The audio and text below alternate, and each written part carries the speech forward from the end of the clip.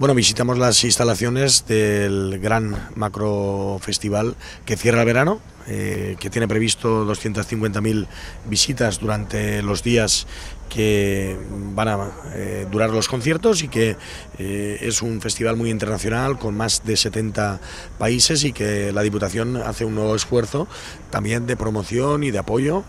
con 92.000 euros aproximadamente, que no es un gasto porque al final es una inversión y un apoyo claro y contundente a lo que es un producto que hoy está muy diferenciado en toda Que es el producto de festivales y que la provincia de Castellón es líder.